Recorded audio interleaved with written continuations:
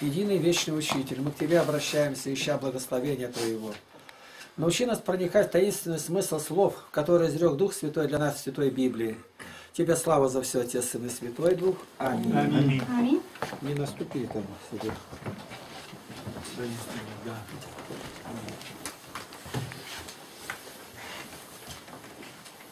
Послание святого апостола Павла к римлянам, 15 глава, с 10 по 12 стих. И еще сказано, возвеселитесь, язычники, с народом его, и еще, хвалите Господа все язычники, и прославляйте его все народы. Исаия также говорит, будет корень Иисеев, и восстанет владеть народами. На него язычники надеяться будут. На него с большой буквы. Толкование. Привел все эти доказать, э, привел все эти свидетельства в доказательство того, что призванные из язычников должны жить в единении и быть едино, в единомыслии с пришедшими из иудеев. Смиряет, чтобы не превозносились пред призванными из язычников, ибо их призывали все пророки, а призванных из язычников опять убеждает не надмеваться, показывая, что они более обязаны Богу, как получившие большую милость, ибо они, не будучи народом, соединены с народом. Слова «буду славить тебя между язычниками» сказаны от лица Христова вместо слов «проповедую тебя отчим народах». А слова «будет корень Иисеев» сказаны вместо того от корня Иисеева вырастет тот, кто восстанет владеть народами, то есть Христос. Вопросы научите задавать. Я Виктор Андреевич сейчас прошу. Скажи, вот если тебе принесли там, ну где-то на кладбище тогда мы пришли, а братские могилы, тебя расстреливали НКВДшники кого. Разбросаны черепа, ребятишки фонарики вставляют от свечки, ты бегают по городу и играют. Одни кости, огромные, как вот этот дом, эти ямы, провалы, провалы там. Ну я пошел в КГБ, заявил, и там памятник стоит сейчас, мемориал стоит. Вот тебе принесли три черепа. Ты можешь определить примерно по черепам, какой национальности эти люди, умные они или не умные? Я нет. Нет. Не а кто может у нас? Где у нас? В России. Я думаю, что могут. А кто? Где эта такая наука проходится? По черепу определить э, нации проще. Сейчас делают. Делают генетические различные исследования. То есть это сейчас очень развита наука. Поэтому я могу только предположить, что могут, а достоверно не могу. Ну сказать. теперь я отвечу. В Третьем Рейхе у Гитлера это знал любой лаборант. А он врач с высшим образованием не знает. А почему не знает? Да нигде не изучают. У них главное было доказать, что нордическая раса единственная в мире, признанная господствовать. Голубоглазая, русоволосая, все было поставлено. И череп каждому измеряли. И в Освенциме, которые там, люди эти должны были погибнуть, а они все замерялись, все черепа. И вот они захватили какое-то село, а, который ну, друг, который у Менгеле, он говорит, ты там будешь в России, это там погляды такие, которые умалишенные, и мне эти черепа, ну, нужны такие. Да вот он глядит, а что-то необычный такой человек, это, он мгновенно вызывает, вот уже его голову снимает, вываривает ее, все это вытряхивает, обделывает ее, и череп ему отсылает. И те показывают, вот они русские, не люди, посмотри, какой череп, какой размер, какая лобная часть. Они для этого в Тибет поехали везде. Вот это все заложено в этих стихах евреи знают, что они избранные Богом, а остальные гои. И семя гоя, и семя скота одно и то же, или хуже даже. У них все это написано в Шурхана Рухе. И вот апостол Павел говорит, а как же, а я ему доказать не могу, у меня исследований нету. Еврей, может быть, воспользуется какими-то данными там из Третьего Рейха, но я-то не могу. Я не говорю о всех, ну, кто вздумает этой наукой заниматься-то, по черепам. Апостол Павел говорит, ну вы читаете закон Божий, тогда, а как же он говорит, возвеселитесь язычники. Как они возвеселятся, если не определят? Значит, они ничем не хуже других, они годны не только здесь управлять, но они в раю будут. Дальше, второе место, третье. Он говорит на книгах, которые они признают. Гитлер этого не признавал. Если бы он христианство Гитлер намерто отметал, хуже Сталина был. А вот теперь сегодняшним евреям, которые возвышаются над всеми, здесь тут Чубайс, это голова. А он говорит, да если бы Достоевского попались труды, я бы зубами изорвал его все. Это Чубайс. Ну, он превосходство перед Достоевским даже чувствует. А апостол Павел не чувствует, природный еврей из евреев. И говорит, язычники призваны быть, а раз они призваны ничем не хуже, Бог признал их действительными. И поэтому наука превосходства одной нации над другой, как называется? А, ну это Ну, наверное, расизм. расизм. да. Расизм. Да, это не только антинаучно, а это противобожественно. Не нации только, а расы. Да, раса. И какой бы ты ни был человек, для Царствия Божия, на тебе фашизм. печати нет, Нация. что ты недостоин. Ты можешь быть спасенным. Идите во все народы. Идите до концов земли. И апостол Павел это говорит. Вот почему евреи, которые знали, что превосходство еврейской нации над всеми, когда они это считали, а послание-то у них было в руках, ему жить не надо давать даже. Он достоин умереть, они пыль над головами метали, когда его по Антониевой лестнице поднимал там, он говорит, я хочу сказать народу, они 40 человек заклялись не пить и не есть когда. За что? Вот за это вот. Что другие народы считает нисколько не ниже богоизбранного народа. Они и богоизбраны не потому, что черепа больше у них, они умные, а евреи там умные. Вот сегодня они начинают. Ну а покажите конкретно, где они умные. Давайте поговорим так. Нужные. Ум потом определять. Ум трудно определить. А, Ну что ты изобрел? Ну ты изобрел палочку-ковырялочку в носу. А на другой пальцем ковыряет всю жизнь. Ее можно изобрести, она сама будет там и, и смазывать одновременно. Это можно. В чем они умные? Я говорю, вот сколько вас евреев ну, здесь работает? В краевом суде, ну, 45. 45 на эту нацию. Не многовато ли? Все юристы, все везде занято. Теперь скажите, кто добывает хлеб из вас?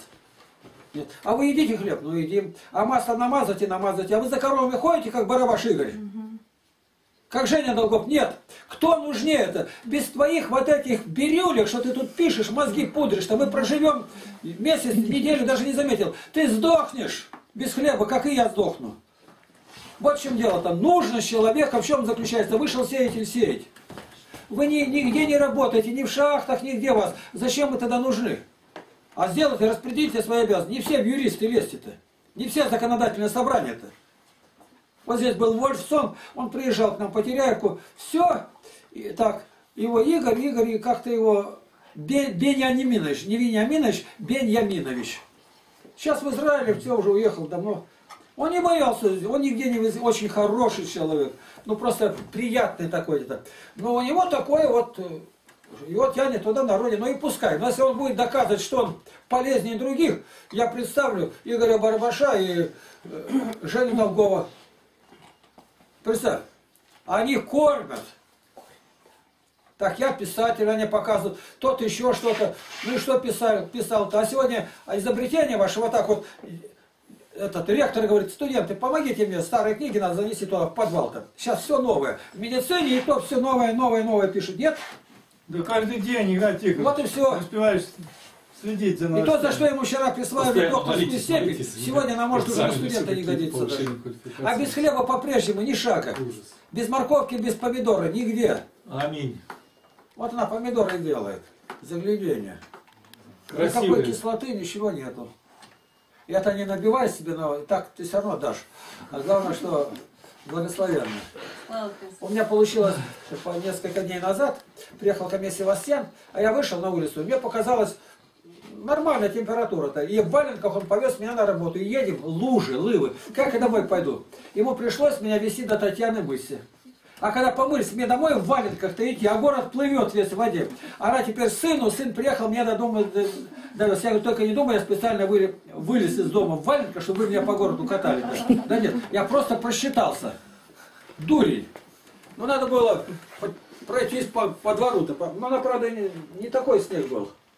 То есть мы должны вперед маленько где-то смотреть и вот на эту главу ссылаться при разговоре с евреями, когда они возносятся. И показать, вас Бог ничем не возвысил, кроме того, что э, через вас пророки пришли.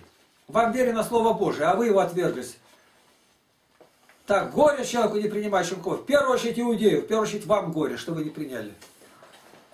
Вот как надо рассуждать. А в наших молитвах еврейский народ всегда должен быть в числе первых, чтобы Бог его обратил. Я отошел. Я хочу завершить э, начало речи Игната Тихоновича. Он говорил о черепахах, а в конечном итоге оказалось, что и у немцев такие же черепахи, как и у этих дураков. То есть они какие-то отличия есть, но какой-то градации нету. И они в конечном итоге отказались от этого. Они не смогли доказать, что какой-то конкретно нация какая-то, вот именно и немецкая, она обладает только вот такими формами. И по этим формам можно прям вычислить. В конечном итоге отказались от этой доктрины. Хотя много э, рассказывали, шумели и так далее. Все. Бесполезная, да? Да, ну и теперь отсюда а дальше вся речь Игнатих начали Я говорить. этому стиху при- привязан, к Павел говорил. А у Павла другое было. Ну, когда показывают французский легионер, были най, ну, наймиты там арабы, и какие они были, у них только одно, докуриться, на нашиться, ну, говорит, ну, сравнивайте. И когда там это, Ромель-то их разгромил и показывает, вот она, их армия была, и, и ролик идет, они какие сидят, рты там, как будто армия дураков набрана была. Ну, какая? Что сравнивать? Или один, который у нас сколько Покрышкин сбил? Ты трижды герой. 78 самолетов. А у них было по 320 сбитых. Вот так. Я хотел сказать, это вы фильм смотрели, называется «Новые, Новые войны», и как раз я тоже видел его. Это марокканские легионы, которые сражались э, в сороковом году с Гитлером, когда он напал на Францию. И их взяли в плен. И их показывают в концлагере, они уже схудавшие, им берут козу, бросают вот так козу туда. Они эту козу хватают, тут же ее режут вот так на части, не ошкуривая, вот так разрывают ее. И потом они снимают, и в немцев показывают они, ну вот, говорит, смотрите, это вот э, какую демократию установили, чтобы э, благосостояние людей поднять. Вот она, это, говорит, капитализм на него. Ну а там, а что тут какие люди? Потом показывают красноармейцев, тоже оборванные все, худые там, но они же тоже после пленения и так далее. То есть это подтасовка была всегда. Но действительно находили таких, а евреев показывают, тех же евреев. Они стоят в очереди, это уже показывают э, Украину, чтобы они э, регистрировались э, в, ну, в этих в комендатурах. И вот иду, евреев и прям из толпы они выхватывают, раз э, ставят еврея. Ну там, ну смотреть страшно. Вот их действительно такие горбоносые они, глаза вот так на выпучку. И все это они рассказывают. Вот, говорит, она, это еврейская выродившаяся нация. То есть, если бы евреи тогда, когда апостол Павел пишет, и показать им этот ролик, они бы сказали, да нет, они бы открестились от этих евреев. Чего же они такие все, прям как страшенные. И есть и среди русских, и среди немцев. А немцы своих убивали вообще, у них тоже было очень много умалишенных. В конечном итоге всех попрятали и убили. Ну, то есть, как раз идет разговор о том, что у Христа нету ни Елена, ни еврея, ни, ни иудея, ни Елена. Всё. Аминь. 13 стих. Бог же надежды да исполнит вас всякой радости и мира в вере, дабы вы силою Духа Святого обогатились надеждою. Толкование. Молит, чтобы верующие из иудеев исполнились радости, ибо они печалились от укоризны, а верующие из язычников исполнились мира, ибо они являлись враждующими против принадлежавших закона. Лучше Придерживавшихся. придерживавшихся закона. Лучше сказать молит, чтобы те и другие исполнились радости и мира. Как же сделать это? Верой. А вера какое благо доставляет нам? Богатство надеждой. Ибо кто верит будущим благам и остается доволен настоящими, тот богат надеждой, то есть ожидает будущих благ и переносит все временные бедствия. А какое благо доставляет нам упование? Приобретение силы Духа Святого, которое соделает упование наше крепчайшим. Ибо упование с одной стороны доставляет нам силу Духа Святого, а с другой становится в нас от Духа Святого крепче. Но можно? Можно. А Дух Святой, Христос сказал, придет утешитель. Вот Дух Святой, Он утешитель и есть. А утешитель кто подает? Ну, утешение кто? Ну, тот, кто обладает оптимизмом. Он вселяет надежду, говорят. И Вот целые нации, в которых вселялась надежда, на одним человеком было. А Христос, ну это был Ленин, допустим, Гитлер. Это надо смотреть на людей. Ну что они делали, какие подвиги совершали так. Это вот вселение надежды было. Пришел утешитель. Но это люди. А тут Христос утешитель. Утешитель. Как мы можем э, этим пренебрегать? Человек вообще э, здравомыслящий. Однако, пока веры не будет, отвергают. Им это неинтересно. Еще смотрят, что интересно, что неинтересно. Ждут хлеба чудесного, вот так, бесплатно, даром. И ждут зрелищ, чтобы жевать в этот момент и наблюдать. Им интересно очень. И жизнь проходит. А думать-то надо было о вечности. И Христос, Спаситель, знал, о чем думать. И утешитель для, того и пришел к нам, чтобы нас утешить в том, вот в этом самом ожидании нашем. Вы не скучайте, вам будет ве потом весело. И написано, возвеселитесь, язычники. Евреи это уже возвеселенные, потому что у них пророки есть.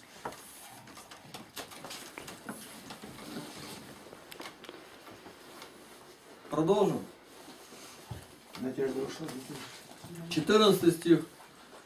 «И сам я уверен о вас, братья мои, что и вы благости, и исполнены всякого познания, и можете наставлять друг друга».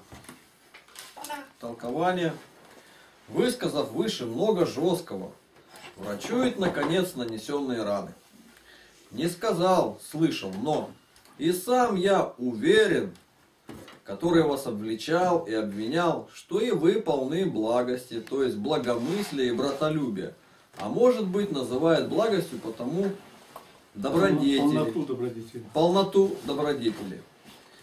Не сказал также, имеете благость, но полны. Поскольку же нет никакой пользы в том, чтобы иметь только благость, между тем не знать, как пользоваться ею, присовокупил и можете наставлять друг друга. Не только научиться, но более других научить. Вот такое толкование. Вопросы? Этому надо учиться каждый раз? Или это все-таки изнутри будет, как Иоанн говорит, нет нужды, чтобы кто учил вас, вы сами будете научены Духом Святым? Или это надо человеку рассказывать каждый раз? Да надо рассказывать каждый раз, конечно. А вот я могу тебя научить одно дело, такое простое, не выгодно, чтобы ты никогда на занятиях не спал. Ролики идут туда, и на каждом прям откинешься, и могу я тебя научить этому? Можете. А как? Поставь. Своим примером. И из примера из Священного И Писания. толчок под ребро. Не спать. Бодрствуйте, ибо близок Господь. Надо себя настроить на то, что опасность рядом. У Яна Златоуста, э, я не знаю, с какого тома это, но я читал только в церковно-славянском, самих томах не нашел, может это просто скомпилировали так. Вот. Человек наследство получил дом. Сказали, прими, он стал обходить. Все ему понравилось, сад, конюшня, а у него э, жена и ребенок. Ну все, ну принимаешь, говорит, конечно, но тут, говорит, а почему, говорит, никто не живет? А дело в том, что в этом, где-то здесь живет змей. Его не видно, но он время от времени выползает и жалит кого-то. Странно, да. А что же они не убьют его? Убей, убей, пожалуйста, разрешается. Вот палка лежит, капкан, ружье, стреляй. Живет, все у него есть, все. И вдруг у него слуга еще был. Слуга прибегает, ночью змей выполз и ужалил коня, любимого коня. Он взял ружье и пошел где? К норе. Он только голову показывает, ему стрелять надо, а он и плюнул, и золотник. А это, говорит, что такое? Ну, чтоб ты не обижался. Еще будет завтра, говорит, еще дам, говорит, еще золотник дам. Он посчитал, за месяц коня возвращает, да когда же эта прибыль пойдет. И он его не убил. Проходит полгода, опять крик слугу ужалил любимого. Ну, мужик понял, шутки плохие.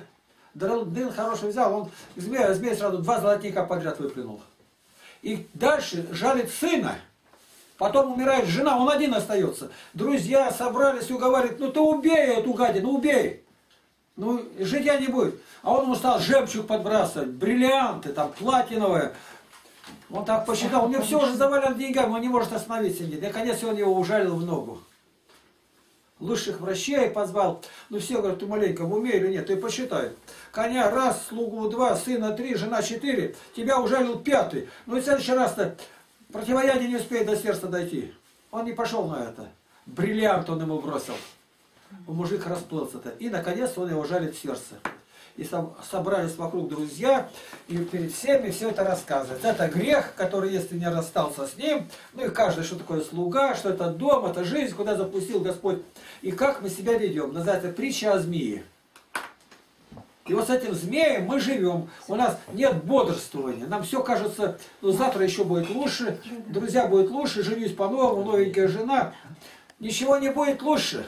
У нас опыт отрицательный. А если опыт положительный, ты ничего больше ждать не будешь. У тебя только словословие будет одно. А о чем ты просишь? У меня две молитвы. Сейчас на первом месте две молитвы. Первая. Укроти ту бойную женщину по Теряевке. Не дай ей погибнуть. Потому что это сумасшествие для нее кончится внезапно и оборвется. И второе, приготовь нам путь, пошли все необходимое для благовестия путешествия. А остальные молитвы у меня идут. Эти у меня постоянно, даже в короткой ночной молитве встану, мысли разбредаются, на это я должен вспомнить. А потом узников, Козлова Александра Людмила. Ну и так постепенно за правителей, там, за Путина, за патриарха. Но на первом месте у меня так. На первом месте. Буйная женщина, сумасшедшая, бесноватая. И второе, чтобы Бог указал нам, где мы нужны. И приготовил все необходимое. Это наиважнейшее сегодня для нас. Потому что ни то невыполнимое, ни это невыполнимое. Понял? Тихонович, Теперь прочти еще раз, о чем писали. Он говорит. Иван Тихонович, чья это э, притча? Откуда? Это притча, большая книга с деревянными корочками под кожу, по- под пергамент обтянута. Она у нас есть дома. Называется «Златоуст». Книга так, «Златоуст». Но там э, не, не, не по томам менее, э, менее, а все, там Василий Великий, Григорий Богослов, Ефрем Сирин, Нифон. Но вся книга называется «Златоуст», потому что больше всего уделено на его проповеди. Но они не дословно взяты, кое-что может в вольном пере, пересказе, вот так. Златоуст. Эта книга издана была у старообрядцев большим, видимо, тиражом, и она была у всех. Ну, Евангелия не было, Библия, а Златоуст был. Дедушка читал, а потом мне это досталось наследство.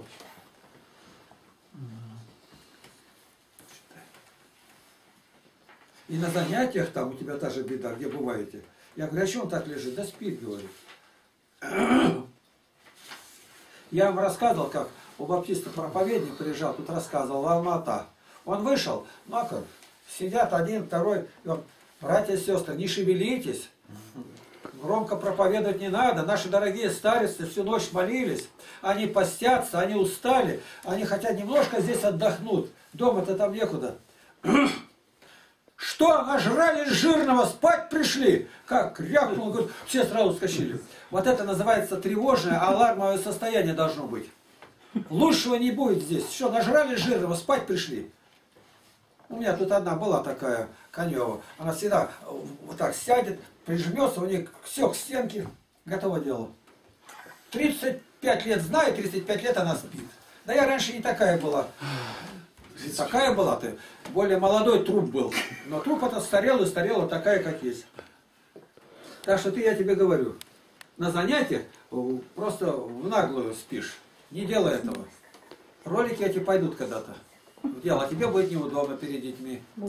А помните фильм «Гитлер»? Чем он привлек-то себя в пивной? Зашел и пивной пивко пьют, сосисечки едят немцы-то. Он как окинул взором и сразу, знаете, говорит, что главное, почему? Ага. Ни коммунисты, ни никто.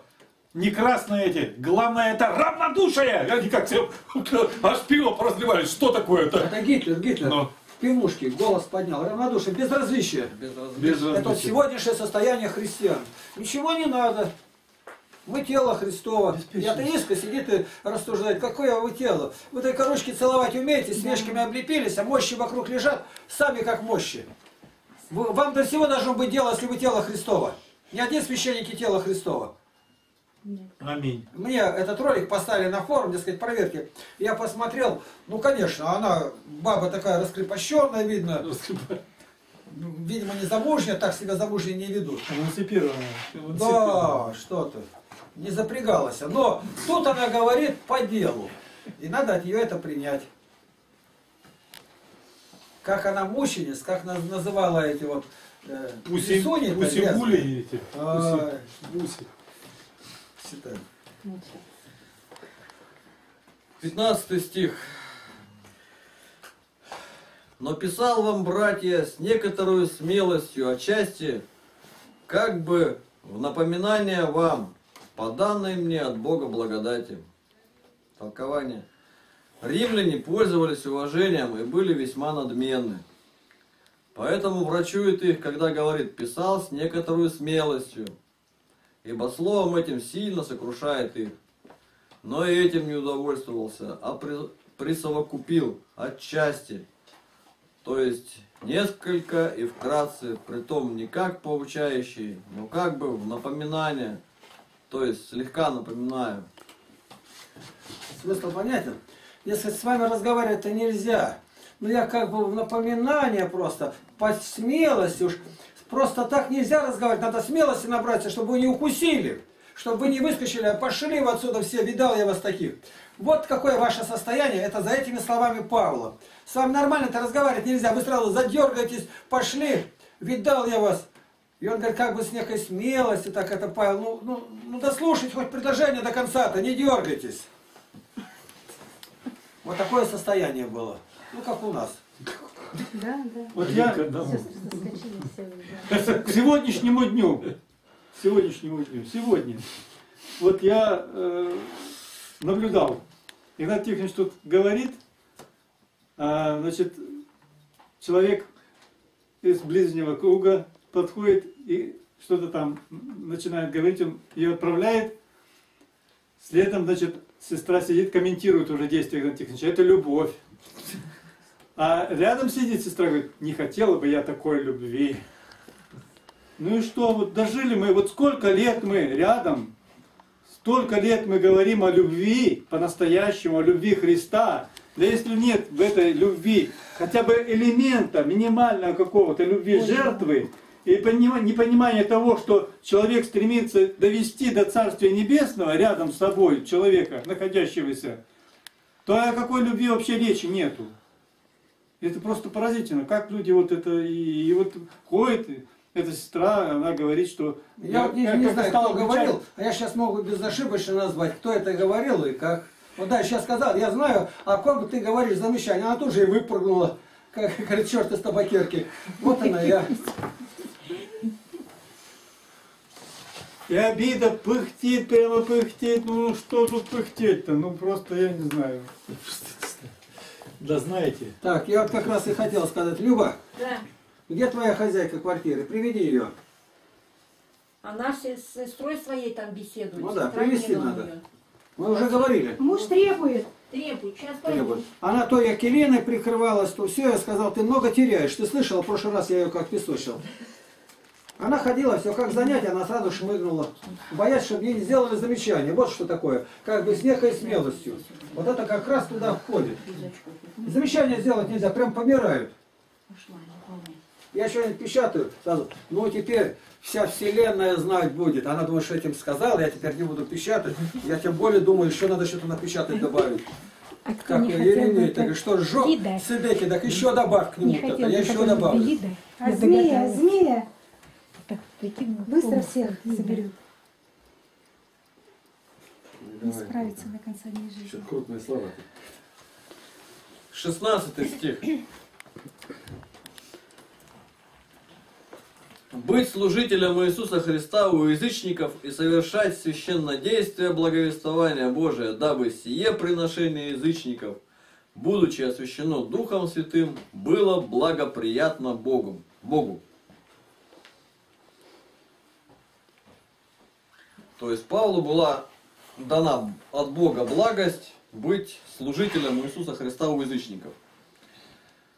И об этом Павел и пишет римлянам. И вот толкование на его вот эти строчки и далее комментарий небольшой будет.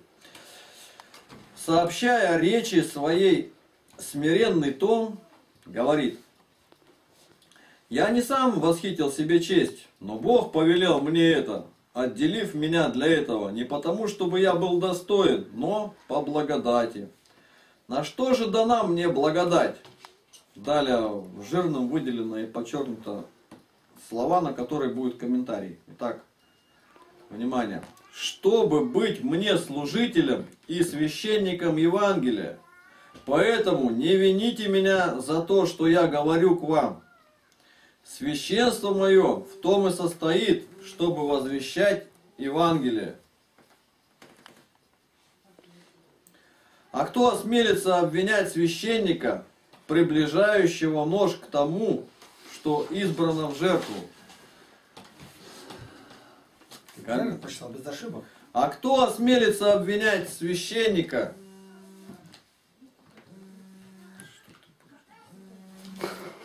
Ну, не отключается.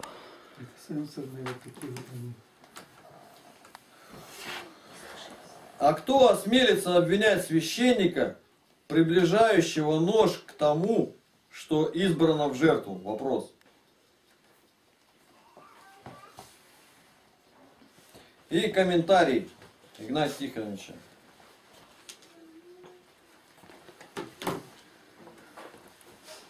На какие слова?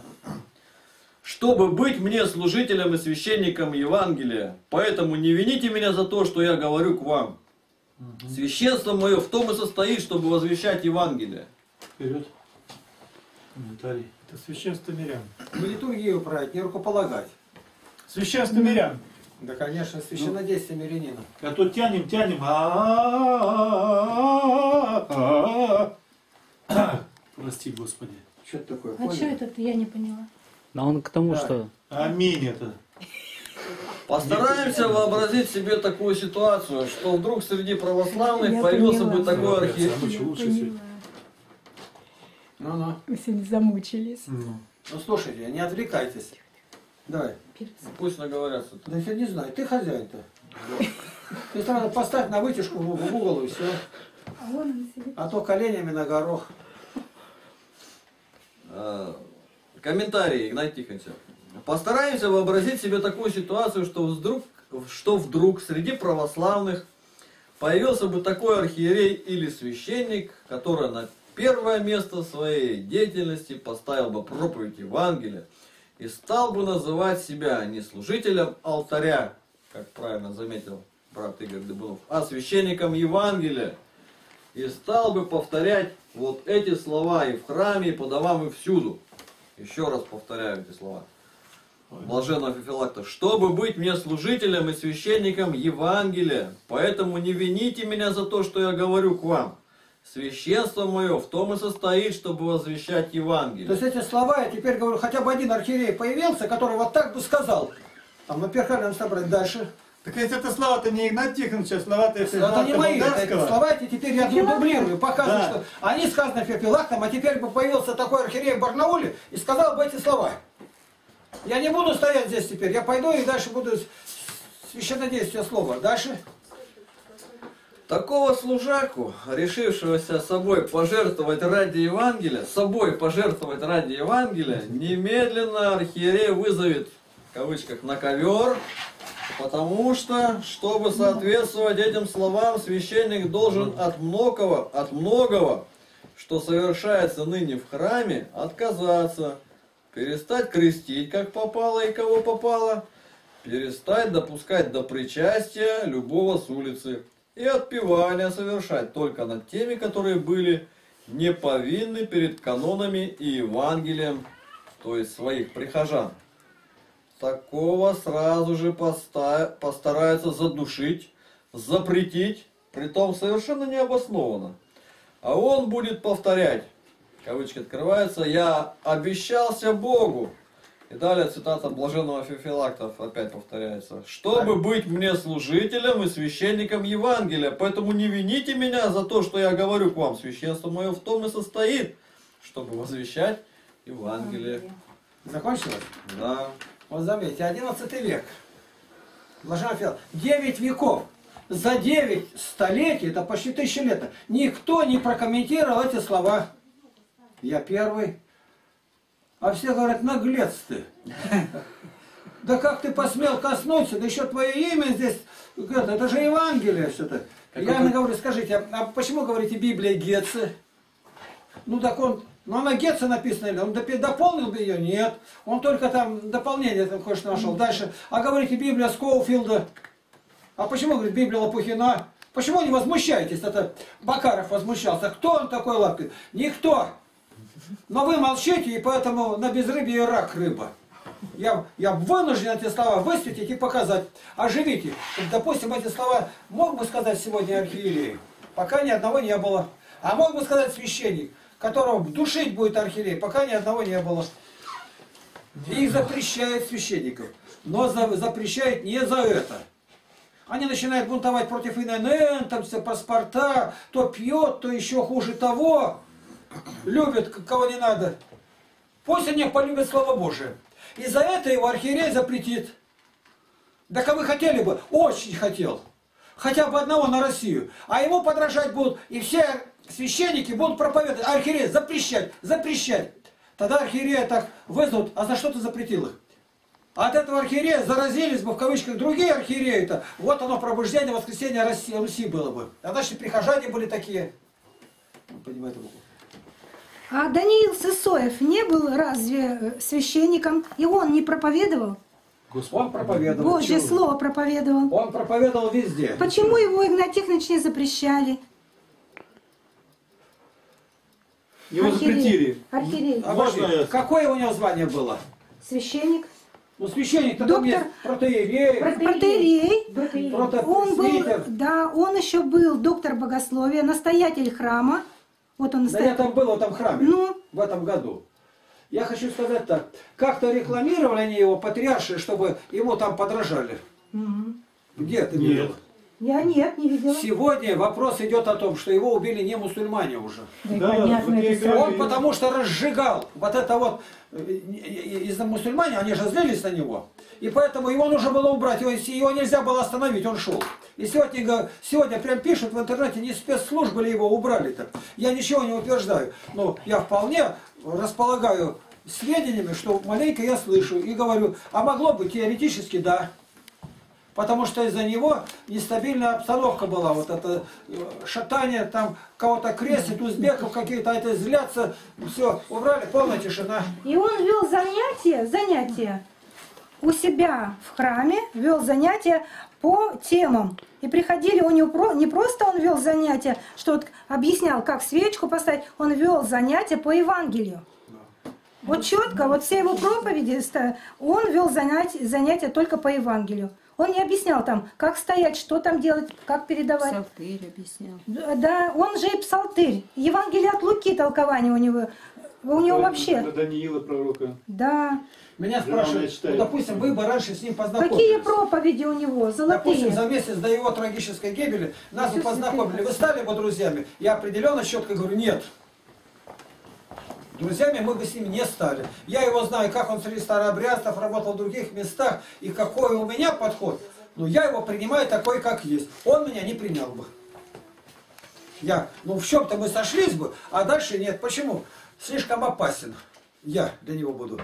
Потому что он нигде ни разу, как Осипов, не задел патриарха. Ни разу синод епископ. Я нигде этого не видал, не встречал и думаю, это невозможно. Они схапали. Я недосягаем для них.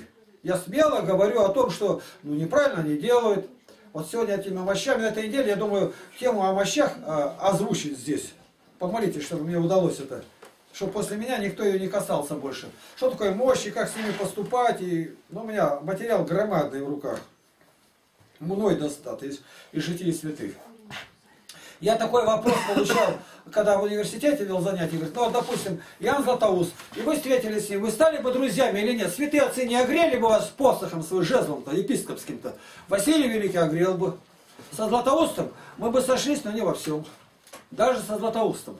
Так а вы еще считаете себя правым? Мне не надо считать, у меня Евангелие. Мне зачем считать? Я считать, как сразу, Златоуст я, да никто, букашка. Но он везде восхваляет монахов, монахов сам пошел в монахи, там три сколько лет прятался в пустыне. Я абсолютно знаю точно, что это не евангельский путь. Евангельский путь уверовал, неси людям благовестие. Люди погибают. Иди работай, иди плыви, беги, копай, что угодно, но чтобы Евангелие распространялось. А у него главное это была служба. Да, он говорил, я говорю проповедь. Но если вы ее дальше не понесете, я ничего не успею без вас. А если бы он не здесь, только в каждом месте шел, как патриарх-то ехал, да организовал кружки по изучению Библии, как яговисты, наверное, результат был бы другой. А то Ян Кронштадтский, никто не основывали кружки по изучению Библии, как у нас тут сейчас собираются. Это запрещалось, это преследовалось. Я его к этому призвал бы. Вот он как среди сектантов, считаю, у Даниила Сысоева, как он заводит прогулка с сектантом по храму. Ну, книжечка у него что. Вот он начинает рассказывать, какие иконы, там что, какой год это вот у, у Сахарова Кирилла. Да пол секунды даже на это не стал бы говорить, а провел бы, чтобы он не видел. К нам люди приезжают, я покажу на надписи. Далее, как глухонемым переписали все. И далее мы уже беседуем. А здесь, вот даже которых я называю, пять человек в России, пять. Это Стефан Пермский, вот, Вениаминов, Иннокентий, Север, и Николай Японский, ну и Макарий Алтайский, Лухарев. Это вот за тысячу лет пять. Ну и они шли не прямо по евангельскому пути. Сразу перевод, богослужение, они знать еще не знают. Это бы можно было делать, да может и нужно было делать, тогда, когда они будут знать содержание Библии и жить по нему. Он многого добился. Вениаминов. На севере они стоят, когда уйдут, говорит, он мог посмотреть, где снег протает под ногами, сколько человек было у него в юрте, в храме. Но от блуда так и не мог их отучить. Да это что, маленький грех какой-то там. Ну мог он за, научить, чтобы с этого китовину не ели, кита приписать к рыбам. Это можно было сделать. Но блуда он не мог их отучить. У них считается так, если пришел гость, ночевал, обязательно уложить его с женой. Почему? Подправить свою природу они вымирают-то. Ну видели побег из ГУЛАГа-то, как там они его подсовывают и дальше что есть. И он, даже он, митрополит, ничего не мог с этим сделать. Отсюда вывод. Тогда все остальное это куда? Главное это богослужение. Все они, все до одного. Тот научился этот язык, вот Макарий Глухарь, первым делом перевести, скорее литургию надо, литургию перевести. И тот точно даже литургию. Теперь они стоят, стоят, ну даже на родном языке это ничего не понимают. А почему было так? Оставим литургию, пока они действительно не станут христианами. От, не отстанут блуда и прочее. Как там один хроматий учился, житие святого Севастьяна.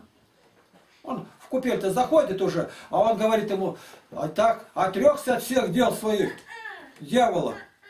А уже раздетый. Он говорит, а что ж ты мне раньше ты не сказал? Я оденусь туда. Оделся и пошел. Говорит, когда все сделаю, тогда приду.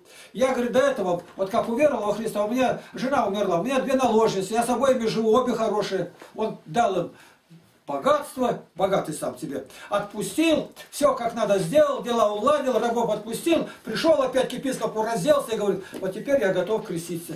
Но это один такой в Библии, то остальные толпой, кто не с собой, то против меня, рядом меч. Ну, мечом не убивали, это сектанты лгут, что ходил, там тысячи какие-то, никого не убивали, но страх-то был, все знали, какой он крутой. Если больного Ярополка своего брата убил из-за жены, что с него спрашивать-то с Владимира было? Он слишком крут был, батюшка, его боялись. И на иконах рисуют, стоят такие воины, витязи, и меч стоит на такой высоты. А что это за меч? Сейчас пишут, вчера я словом газдатом занимался. Отец у него, там, дед, шашкой удара могут перерубить одновременно и человека, и коня. Не, не верится в это, но повторяется из одного материала в другой. Я считал, у казаков Тихий Дон, они там были, вот так вот разрубают наискосок. Пока он не развалился, успел второй раз, четыре части падает на Не по голове, а с ребрами, с позвоночником совсем. А этот с конем вместе перерубал. Вот они верующие. Я попутно вопрос хочу задать. Расул Гамзатов писал стихи, это был истинный поэт, а на музыку там Блантер и другие евреи. Почему он э, своих э, э, там он же аварец был. Почему они на музыку не ложили? Знаете? За 1300 лет ни одного музыкального произведения от мусульман не было. Как у старобрядцев. А, там аминь начинает. Буква тянет, пока через два ущелья переплывет. А потом аминь уже на той стороне закончит. Вот выскочишь за старобрядца, ты и будут на тебе тянуть, пока с работы не вернешься. Можно еще? Да. Ну, я хотел бы сказать, что вообще Данила Сысоева сюда приплели, ну никак надо это не знать совершенно Даниила Сысоева и ничего о нем не читать. Он был открытый батюшка. Он открыто писал все, зарубежники, вот вы для него. Вот сейчас он бы только узнал, что община Лапкина э, в зарубежной церкви, вы раскольница. Все. Все. И пошла душа твоя. Все. Да, Ты конкретно он писал раскольники, еретики. Он пишет четко. Зарубежная церковь еретичествующая. Как вы могли садись? Садись. А Вот я его не считаю за еретиком. Я считаю это мученик. Он ушел на небо. И за 2000 лет, может, никто так не любил мусульман, как он. Подождите, я это сказал а- на другой день уже. Игнатий он она- обо мне это не скажет. Она продолжает упорствовать, я смотрю, эта душа. Ладно, дальше. Сектантов он, он сектантов не просто не любит, он их ненавидит лютой ненавистью сектантов. Все сектанты сразу все в ад, все. К ни- к- с ними вообще никаких разговоров нету. Он с сектантами не умел беседовать. Как он с мусульманами так ловконько подходил, а с сектантами он вообще, чтобы такой подход, как, вот допустим, у Игнатия Тихоновича, ну, Игнатий Тихонович тоже у кого-то брал, и там подход, решение вопросов, этот сразу рубит, и все, он, он, он такой жесткий Со батька. старообрядцами как он беседует? Это старообрядцы, это православные. Князем Владимиром крещен, они патриоты, а он их как врагов рассматривает. Как это так? Не меньше, он очень категоричен. Но это мы оставляем. Даниила Сысоева пред Богом уже, все, Все. ясно. Он, Для меня он святой мученик. он о мусульманах, к мусульманам он говорил очень хорошо. А мусульмане это все-таки, если мусульман обратить хотя бы немногих, это великое дело. Мы поговорим в этом плане о другом. Ближе всех, мне кажется, подошел к этому вопросу, о котором говорил сейчас Игнат Тихонович, это отец Каменский Павел. Ближе всех подошел. Пока он троекратно крестил, он был такая заноза у нашего этого барнаульского Максима А как он крестил отец Даниил, вы знаете? Как крестил, вот это неизвестно. Ну где-нибудь найдите, как он крестил, и были ли у него прихожане, которые моченые? Я думаю, были. И сам он был ли крещен троекратное полное погружение? То вот тут ты сразу увидишь Думаю, разница нет. какая у нас. Думаю, Вы нет. просто до конца дов- доведите разговор. Я не говорю про это нигде. Почему? Он перед Богом. Вот именно. Я его люблю. Но скажу, вот как у меня 18 дом, у него этого нигде не было. Я делаю все в сравнении с Библией. А он не видно. беседа с сектантом, прогулка по храму. Это у него книжка. С сектантом по храму. Да я сектанта не знаю, как далеко от храма увел, чтобы он так и не видел. Я отца Геннадия там пас, я никого в храм не повел. Ни разу. Он найдет это. Ему главное показать это толкование святых отцов и собора. На этом я останавливаюсь. Не верь житиям полностью. В моем доме он уже через день будет не такой, как есть. Отец Геннадий Пас говорит, я приехал когда в Барнаул, ну и там, думаю, кого найти, они сказали, вот из епархии отец Дмитрий. В дальнейшем он будет новокузнецкий кемеровский епископ. Вот он уже, кажется, Будько или как там, э, отец Дмитрий. Ну я, говорит, к нему. Ну, думаю, как его вызвать доверие-то? Я, говорит, я бы приехал оттуда-то, но я, говорит, очень хорошо знаю Игнатия. Он думал, Игнатий, это Сим, открой дверь. А Они ему сразу в лоб и без промаха. Игнатий, он сразу от меня, да вы разве не знаете, что он еретик? Я, говорит, так и сел. То есть человек из сектанта пришел, и сейчас он магистр богословия Московской патриархии, на них это не действует. Почему? А они на генном уровне понимают, я другой, я совершенно другой. Я не просто со стороны пришел, они понимают, в любом месте я могу не согласиться с ними. Для меня авторитетов вообще не существует никаких. Ни соборов, никого. Для меня авторитет одна святая Библия. Я не, но я не бунтую, я признаю патриархию, но я обязательно выберу момент и скажу, а вот посмотрите, Библия-то вот как говорит-то. Я его считаю благодатным патриарха. Я его люблю и должен показать ему. Я об этом пишу письма. Я в теле Христовом. Меня никто не упрекнет. А, ты в теле, благословился. Я свечки, вот и говорю, наши жгут. Сколько жгут-то? Ну, положено по чину. Ну, одну затепли ее. Ну, что вы... Это не к нам, не надо только нас. Ну, перестаньте. Ну, Ну, ну, что вы начинаете? Ну, ну. Ну зачем вы на, на нас так плечо? Не, я, я... Ну я что, вот батюшка в тот раз выставил 6 свечей, я одну поджег. Я- Он вышел на меня, а что такое? Я что, я тут зря ставлю? Давай все зажигаем. Я что, и вот батюшки давайте. А я не знал. Не надо меня только вот сюда. И Севастьяна не трогайте.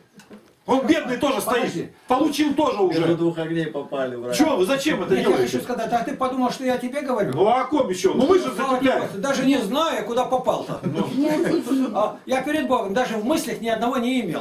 Я говорю о том, что у нас лишние свечи жгут. А где у нас-то? В православии что Я не закончил. Я вообще говорю, их дальше А. говорю конкретно к нам. Я А про тебя я даже не вспомню, что ты сидишь здесь. И я тоже там же жгу их. Я- ну, значит, Когда батюшка здесь? Ты же православный. Я говорю, э, ну положено по уставу-то, ну зажгите одну, ну и довольно, не трожьте. Батюшки нет, что-то свечей лепят, зачем вы делаете это? Нам каждая копейка дорогая. Ну, у Бога солнце сияет, ну что мы ему добавим-то? Вот носится туда-сюда, икона вон она есть, ее не достанешь. Ну и довольно, мы это признаем. Ну что, Иверскую с собой будем таскать на обед с обеда?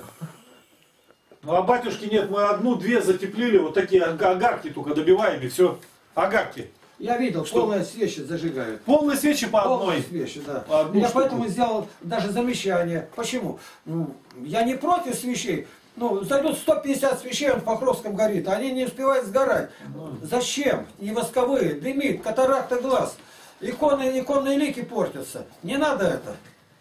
Надо научиться ну, жить здраво по Евангелию. Поэтому у меня друзья, если так взять, стопроцентно со мной не так и много. У меня батюшка говорит, ну, кто из священников в России тебя поддерживает? Ну, полностью, чтобы. То есть он понятно, что он меня все не поддерживает. В первую очередь, я на него показать не могу. На его друзей я показать не могу. Хотя я знаю таких, но только они сразу попадают под пресс. Вот и все. В первую очередь наведите порядок в таинствах. И одно из них центральное крещение правильно. У нас этот вопрос решен. Никакой торговли нет. У нас ее нет никакой, у нас ни рубля нету. Почему? Введите святую десятину. Это было очень-очень непросто. Это нам сегодня кажется, ой, как просто. Это было очень непросто. Даже спор, содеяние, бороду не трогать. Сколько мы потеряли. Сейчас оглашенные дети, вся молодежь стоит там. Уже в коридоре стоят. Один, другой, третий. Еще маленько их ни одного не будет. Ему надоест выходить. Ну, твой еще выходит, потому что папа здесь. А у другого отца-то здесь нет. Ну, тот отец еще деревенский его держит. Вот какая, какая штука-то. А ты распусти может, это у нас будет, как сегодня у Шаповала, у Бен Хина этот, валяется где там. У Аделаджи этого, Санде, там по 5, по 10 тысяч человек. Это очень просто все сделать. Дверь открыть, открой, принес таинство. Все, поехали. Мы уже, это, не знаю, о чем разговор-то идет, вы сами-то помните? Сейчас, вопрос какой был задан-то? К чему все это говорится? Ну помните, о чем говорится-то Да, сейчас вообще? Ну о чем? Вот вы задали вопрос. Священник, чтобы благовествовать Евангелие. Что священник благовествует Евангелие? Ну, мое, свящ... мое священство для того, чтобы Да. благовествовать Евангелие. Разговор, о чем Игнатий Тихонович говорил перед этим? Где, говорит, такой священник был, Ну, это- которого бы это- выгнал епископ из священства за то, что он все каноны правильно соблюдал? Вот о чем идет разговор. Причем здесь Даниил Сысоев, я до сих пор не возьму в ум, он вообще тут Это ни при чем. Даниил, это какой, при- а какой-то пример? Даниил Сысоев, это чистый лизоблюд московской патриархии. Ну вы что? Он чистоганный, если бы не проповедовал мусульманам. Он просто талант. Вы видели его выступление? Это... Это Я задала Я- вопрос. Я задала Подождите, вопрос. стоп, Я подождите. получила Вам, нет, дайте я подскажу наконец-то. Выскажусь. Вы слушайте, что вам говорят. Вопрос был этот. Зачем вы сюда, когда сказали, есть такие священники? Ну да, отвечайте. Есть, это Даниил Сысоев. Здравствуйте, вам, ваша тетя. Да только тот мог быть, кто рядом с нами. Близкий этот был. Это на подходе. Давайте перечислять, кто был. Суртаев, отец Владимир. Чего не остаться батюшкой? Осознал все.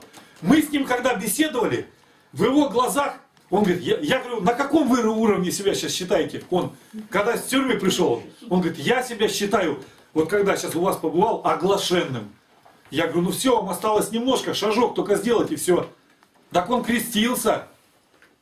Ему священником только быть. Он уже стал прозревшим оглашенным священником. Так он священником был, посадили его священником. Нет, я говорю оглашенным, когда он у нас побывал после тюрьмы. И он говорит, и, а, и показывает, фотографии там показывает свои. И они стоят, жена там, дети его. И он в очках в черных на фоне мавзолея. И говорит, вот посмотри, говорит, вот это, говорит, типичный портрет священника Московской Патриархии. И он стоит в такой майке с надписью, короткие рукава, дети в штанишках, девчонка, пацан эти. Жена здесь тоже, ну, правда, она, ну, без платка, конечно. И он такой стоит улыбающийся, такие волосы длинные. Говорит, вот как типичный говорит, портрет. А когда он здесь уже он постригся, уже все, бороду он не трогал. Уже э, э, вообще у него взгляд сменился. И то, что он мне до этого говорил, когда он был священником, что вот община Игнатий, это раскольники, там это еретик Игнатий, там все это, все уже, этого уже ничего нету, уже открытым оком смотрит на все, уже Слово Божие понимает, он уже рассуждает, он видит предательство. То есть у нас-то есть священники, которые близко подошли. Ну а дальше, а Нафанаил, бывший монах, иеромонах. Мы потеряли кладезь, он практически епископский ум у него. Его епископа можно было в 25 уже лет ставить. Он и добрый, и умный. Там, ну, к нему все эпитеты относятся. И покаянный. Но не мог одно переселить. Одно не мог переселить. Что ему кто-то рассказал о Спасителе Христе, и он понял вот так вот именно здесь. Это он не стал, не стал принимать. И он не принял это, и засох на этом, и ушел вообще в такое, что непонятно.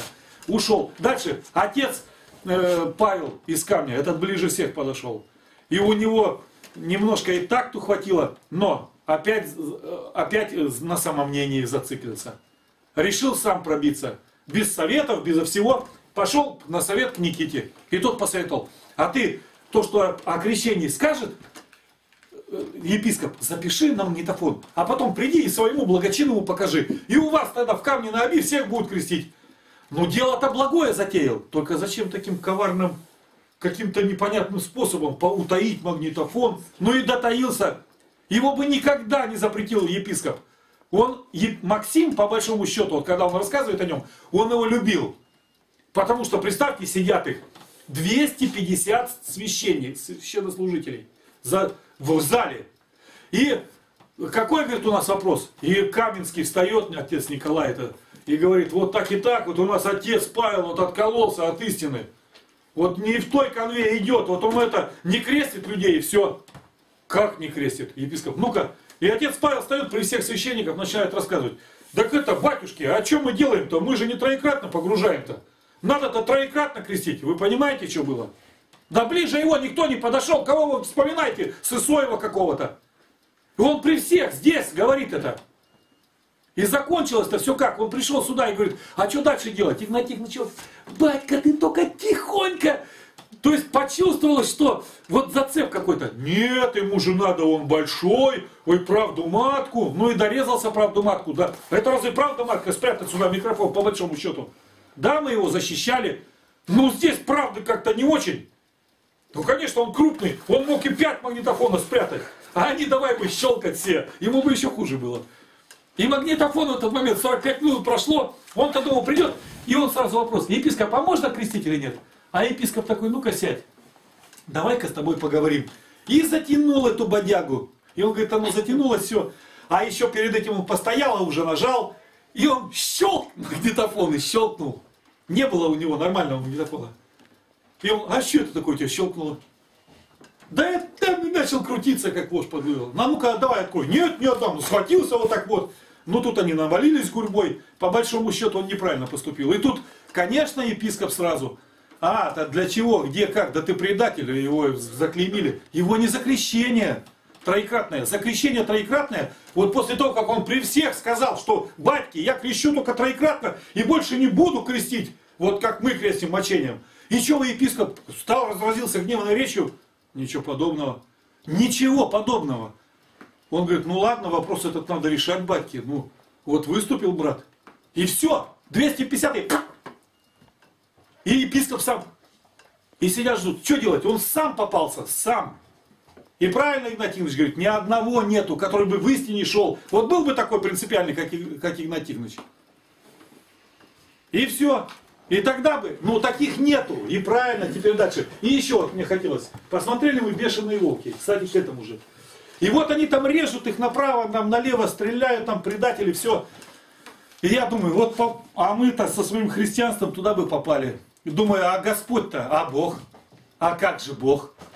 А вот попали бы именно к таким вот самым бешеным. Вот так, как мы есть, с бородами, с бородами. Даже у нас полные багажники Евангелия, и все, и книги даже вот эти вот есть. И я думаю, как они сидят, они же сразу не убивают. Они там беседуют с ними. Они их что-то расспрашивают, смотрят и так далее.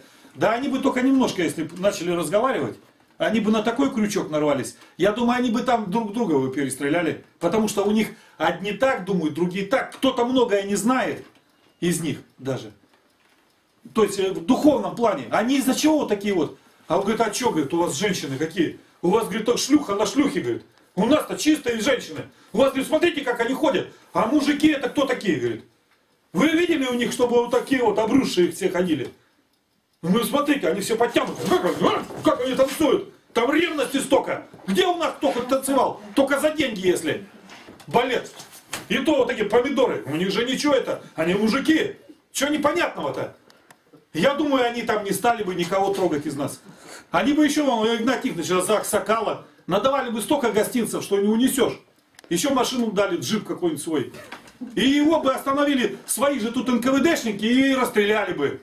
Вот больше бы что было-то. Я так вот прикинул, думаю, они же за что-то это делают, они же не просто так, у них же учение, вы понимаете? И я поэтому думаю, что ну до конца никто не идет, ну нету таких. Пушкин вот взять у нас, у нас до конца ничего не говорят. Пушкин, вот литератор, он столько принес. Что он принес? Что это, Евгений Онегин? Там, это же подлость из подлости всякая. Взяли друг друга, стрельнули, свои же русские мужики. Зачем они стреляли, кстати? О чем там речь-то идет вообще? Ну так, О чести. а то, а ту очень важную книгу только Тухачевский читал, ну красные там командиры читали. Знаете эту книгу? Пуга- э, Это называется «Восстание. Бунт Пугачева». Это самая правильная книга у Пушкина. Вот что надо было рассматривать. Там вся подоплека, из-за чего все это началось. Прочитали бы и сказали, да там с народом-то что творили? Крепостное крам, право дело было. Что там? Нужно было царю-то говорить об этом. А кто должен был говорить-то? Да попы должны были. Никто не сказали. Теперь революция пришла. За все ответили. И за Пугачева, и за Болотникова. Поэтому нету у нас таких священников. И не надо придумывать Даниила там Сусоева и так далее. Вот наши, вот они живут, современники, рядом с нами они. Отец и Павел, молитесь за него. Отец Владимир Султаев, за него молитесь. Этот бывший Нафанаил Николай Николаевич Судников, за него молитесь. Это самые близкие были люди, которые подошли к тому, о чем говорит Игнат Тихонович. А больше я других не знаю. Почему? Вот, допустим, берите батюшкиного друга, отца Иоанна из Тулы. Друг стоит рядом, батюшка троекратно крестит. Отец, а ты крещен? Нет, не крещен. Он говорит, давай сюда, а я как раз съемки ведем. Я на, на лодке. Прям при мне это все. Он говорит, давай, говорит, я тебя сейчас говорит, погружу. Он отпрыгнул. Нет, нет, а что скажут? А что скажут? И все, и он до сих пор не крещен. Это друг. 30 лет они друзья. И он не крещенный поп. Знает об этом. Прекрасно. Так что нет у нас пока еще в России такого человека, о котором сказал Игнат Тихонович. И ему никогда патриархом не быть. Вот это жаль. Жалко. Я уже приготовился поехать. Как меня отправят, командировочный выпуск. Когда патриарха-то избирали, я серьезно готовился на патриарха. Да. Баллотировались, да? Ну, вон, Ирина Степановна хотела что сказать. Ну, Сначала они- Виктор Андреевич. Виктор Андреевич, Она пожалуйста. уже говорила все.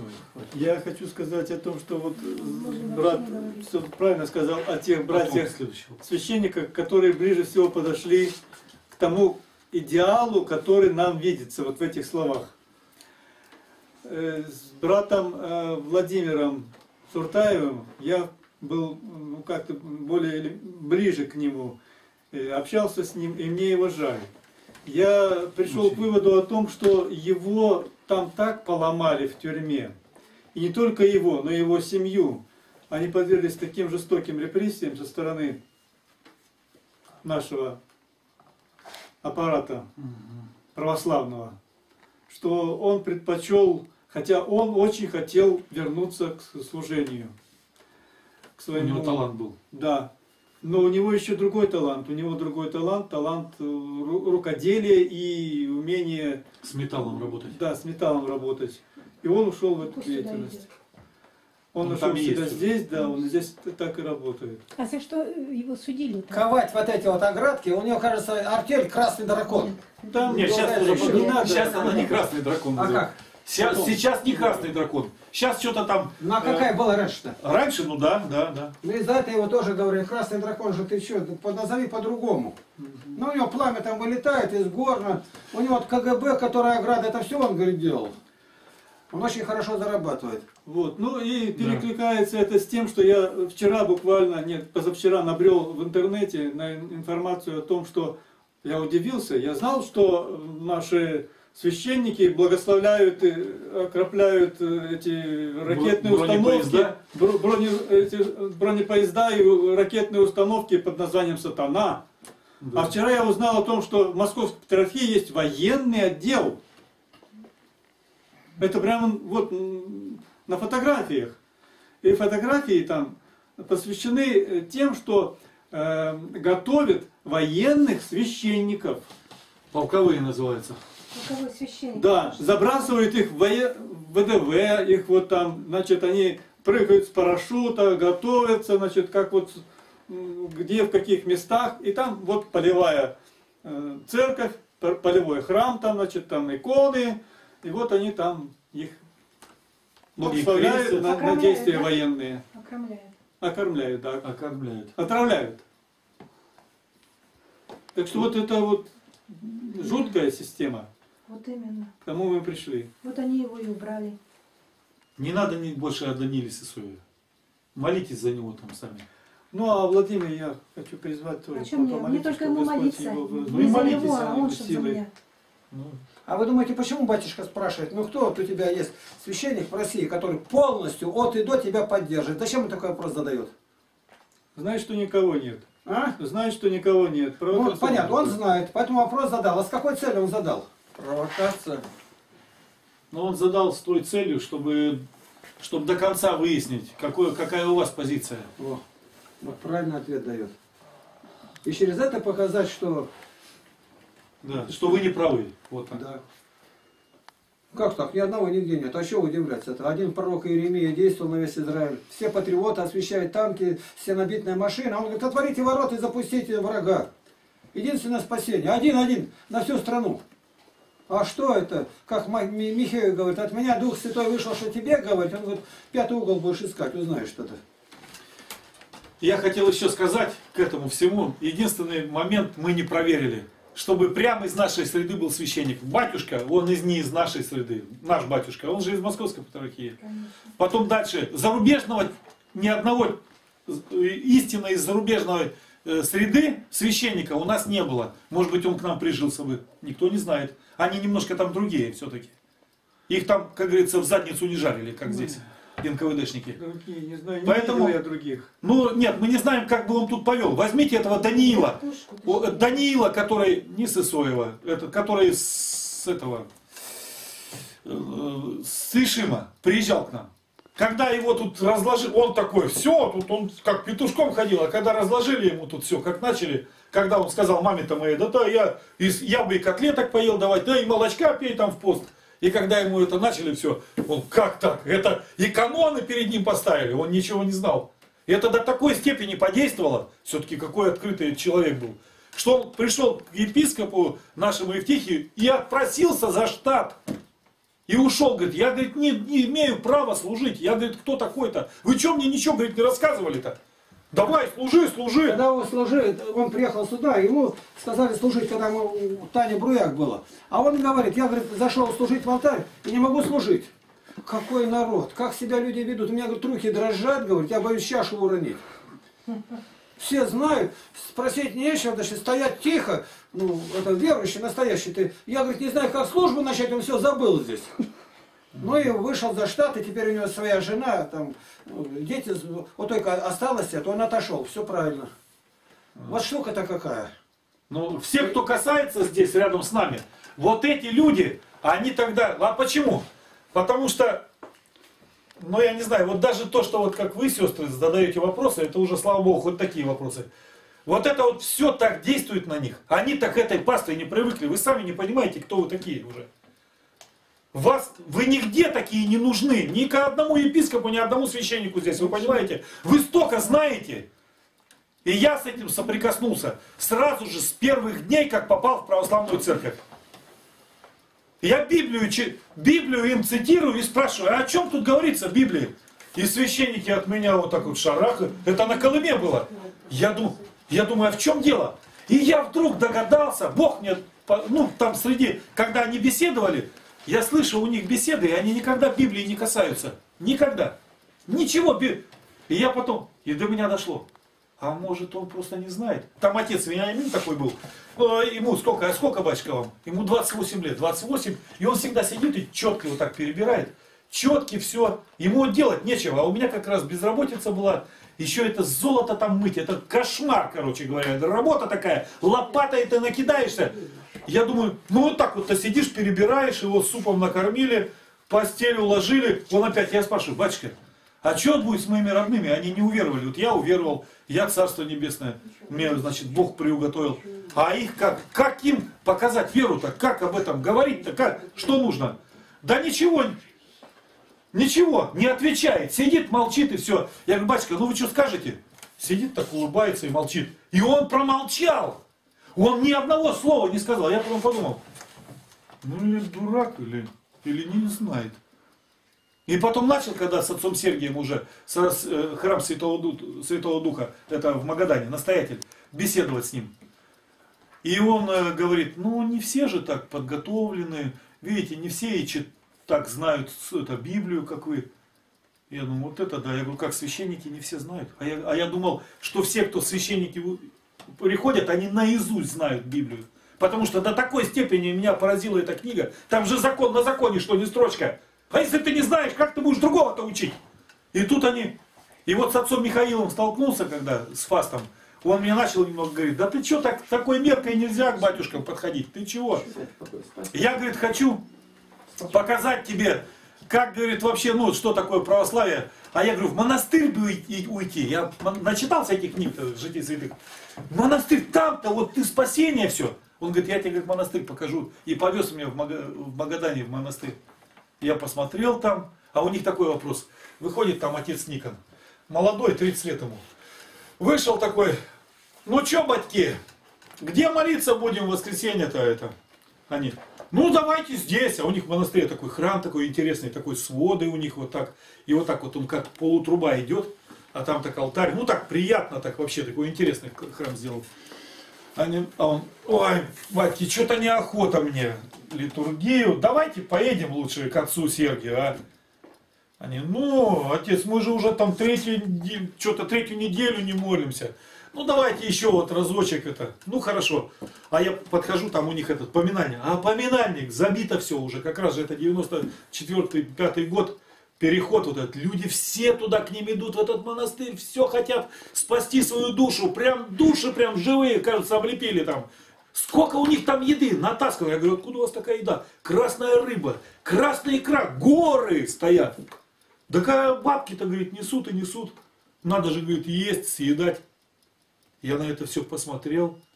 А я говорю, а куда деньги-то дать? Я на поминовение это своих родственников дам.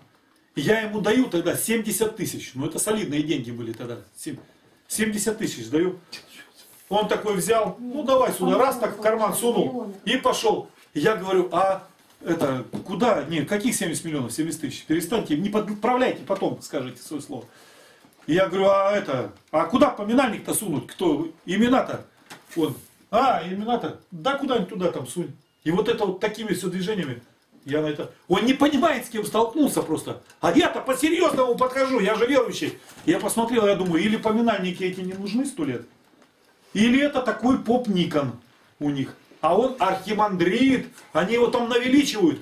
А я смотрю на него, они для меня как голые стоят. Голые, тщедушные, а я-то парень качался, я-то крепкий вообще. Меня с ними поставить голым, наверное, посмотрят на меня. Я думаю, это кто такие вообще при- передо мной? Приезжаем в этот, в епархию, меня тут же ведут, показывают э, это, Ростиславу, э, епископу. Он меня увидел, он, поговорили, он, слушай, мне священники нужны, я вижу, ты парень серьезный. давай это, я тебе рукоположу сейчас. Я говорю, что, прям сейчас? А что тянуть-то? У меня-то, говорит, балду на обалдуй. Я говорю, не, я говорю, на работу вообще-то еду. Я не ожидал, что мне... Ну давай, говорит, приезжай, говорит, ко мне, я, говорит, тебя рукоположу. А я потом отца Михаила спрашиваю, говорю, а как это что? А что, говорит, он быстро за три дня, говорит, ты священником будешь. Я говорю, а что три дня? Ну, говорит, сначала, говорит, тебя в иподьяконы, потом в диаконы, а на третий день, говорит, священником. Я говорю, здорово у вас. «А как? А мне потом что делать-то? Я не ученый, ничего. Да побудешь тут немножко, у нас там много, тут все такие. И я говорю, не, надо подумать. И все. Пос- И вот так вот оглядел я это все православие, когда, и мне вот сам этот Ростислав, я говорю, я в монастырь как хотел. Он, не, не, подожди, не торопись, в монастырь только не торопись. Я думаю, епископ такое говорит, что в монастырь не торопиться. Я говорю, а жития святых? А как же добротолюбие? Он, ты что, добротолюбие читал? Я говорю, ну да. «Э, подожди еще. То есть они сами эти книг-то боятся или не читали. И раз Библию не читали, я думаю, что и добротолюбие никто из них до конца не прочитал. Иначе они бы с ума сошли, что они уготовили себе и душам другим еще. Поэтому этот вопрос, который вот сейчас вот задел Игнат Тихонович, это не просто вопрос, это наиважнейший вопрос. Пастырей-то нету.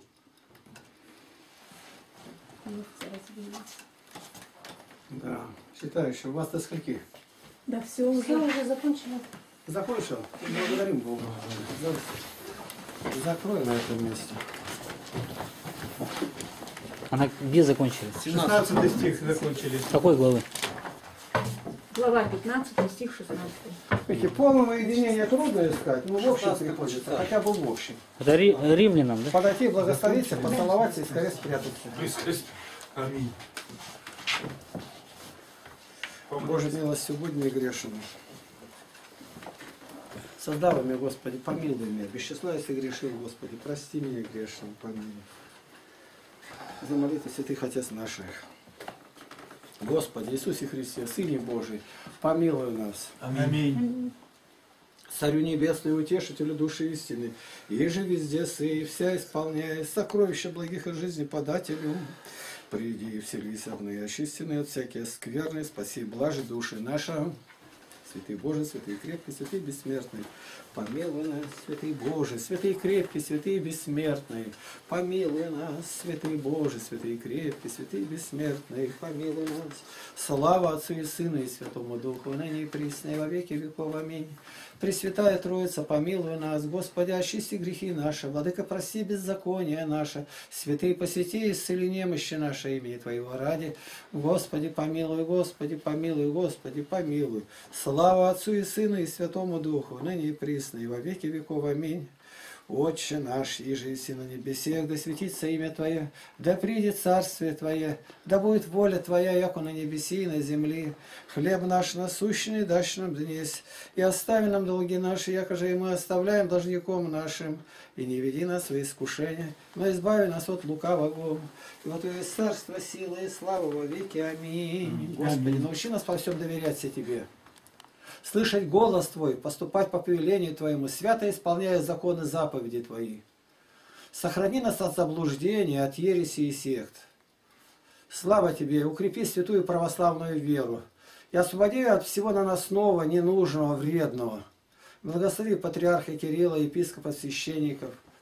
Исправь и наставь на путь спасения. И правителей этой страны, Вразумей, наведи страх Твой на них, дабы они знали, что над ними Ты есть царь царствующих и Господь господствующих, и продли еще мир на земле. Слава Тебе за все, Отец, Сын и Святой Дух. Аминь.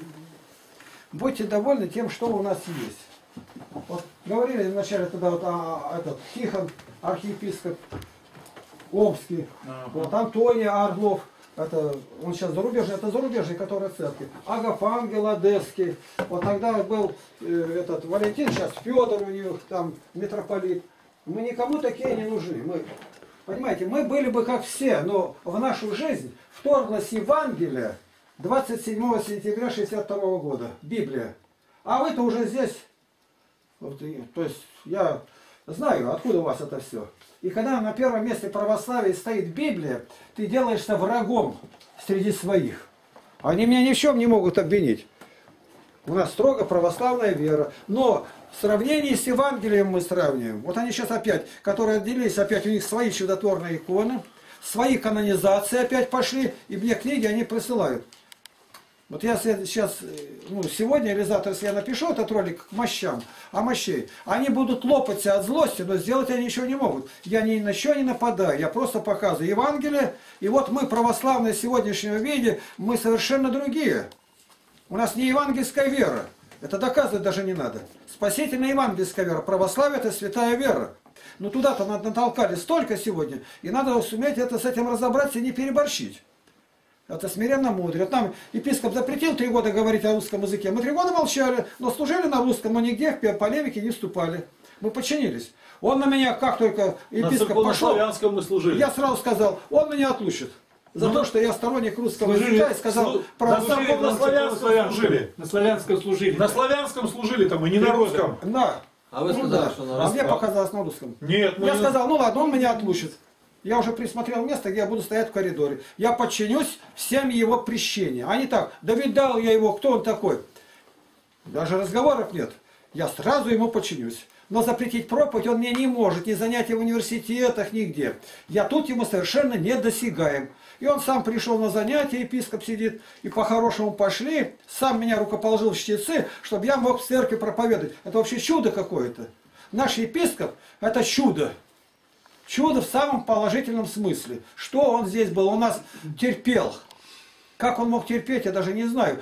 А потом сам стал на русский язык переводить молитвы даже. Это милость Божья. Как это Черкасов пишет, непонятно, как сторонник церковно-славянского языка Евтихия Корочкина, как-то братья Лапкины сумели так повернуть, что он сам стал на их стороне. А мы об этом не думали нашей стороне. Мы просто говорили, лучше пять слов на родном языке, чем тьму 10 тысяч на незнакомом языке. И вот сейчас такие, как мы есть, мы никому не нужны. Не просто не нужны, мы враждебны им. Хотя мы ничего не делаем. Я просто буду приходить, стоять и молиться, а вокруг меня, как вы этих называют, таура будет это. Они не будут подпускать. Они будут все время клеймить. Теперь меня спрашивают, а как на вас это влияет? Никак. Я, у меня поговорка такая есть, старого быка чем больше бьют, тем шкура толще. Они ничего не могут сделать, никак. И в последний раз, когда был здесь, он сказал, вам никогда Игнатия не, не завинить. Никак. У него все по слову Божию. И сказал, где? В епархии. Вот и все. Эти слова его остались как памяти где-то. И сегодня вот, на настоящий момент, мы должны время от времени хотя бы э, подумать, а что будет с нами? Еще когда ничего не было, волноваться, я сказал, волноваться не надо. Мы признаем храм Московской Патриархии, пришло воскресенье, пост ходили, причастились, опять дальше живем и молимся. Да, они с нами ничего не сделают. Они нас будут вылавливать и не будут допускать до причастия. Мы это не испытывали, попробуем, посмотрим. Когда всех они запретят, вот здесь Господь грянет тогда с бурей своей.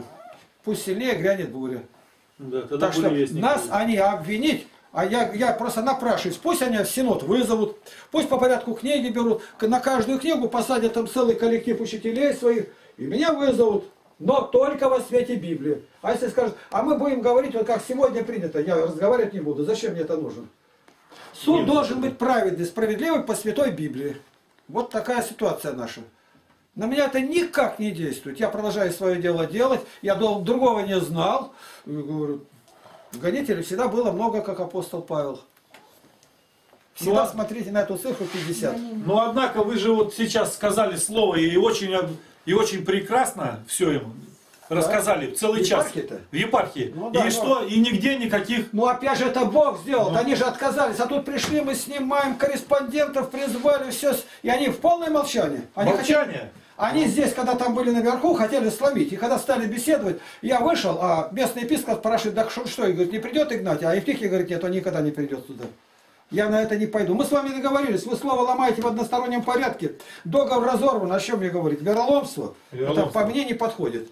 И тогда пришли к нам, они уже специалист на треножнике, вот такие вот, вот это, начали снимать. Но это стоять надо было, надо было претерпеть. Да. Вот и все. Мы их по-христиански любим. Мы хотим, чтобы они не были заразными, чтобы они связывались с властью, не подыгрывали этой власти. Без этой власти они ни шагу не шагнуть, никуда. Надо заранее это готовиться. Оно не, могут, они увязаны. А нам власть, как, мы зарегистрировались, сейчас выставим на, э, как там, сайт этой юстиции нашей, Людмила Степановна это все правильно сказала. Что мы делали? А сколько зарабатываете? Мы пожертвовали за один, за три месяца, одну неделю на 3 миллиона 150 тысяч. Они это не видали в отчетности никогда. Я укажу, сколько 7 тонн литературы, не забудь цифру поставить. От Москвы до Находки прошли мы. И чтобы так жертвовали где-то, не у сектантов нигде этого нету. У нас ничего нету. Мы самые и бед- наибеднейшие, но в то же время мы богатые. Как один сказал, под каждой зарплатой миллион зашит. Вот и все. Миллион дырок. Ну, Братья и сестры, э, я с 8 числа еду на лечение в Яровое, так что мы, как о путешествующем прошу молиться до 28 то есть на три, на три недели. я. Давай, седьмого рыба у нас разрешается. Наешься рыбы. 7 мая рыба. Апреля, Да апреля. почему А, до Благовещение? апреля. Благовещение, да? Благовещение. Ну, До конца поста. Я, видимо, 7 Благовещение. Должен буду поехать. А как у нас вечером. будет э, с Мариным стоянием обстоять дело? Ну а как? Так опять соберемся. Пятая неделя. Пятая неделя, Да, чет- э, в среду среда, вечером. среда вечер. В среду вечером и Добунов Игорь Владимирович будет считать. Надо Ну, будет подготовить, сколько там, потому что Там много. всё на три части А делить почему- и все. почему Легко делить. написано четверг? Это намного легче. Пятая Четверг масло можно есть. Полный канон. Четверг, пятой недели, почему? На написано следующий день нам разрешается с маслом. Кто на, на молении будет? Нет, там среда. Льгота.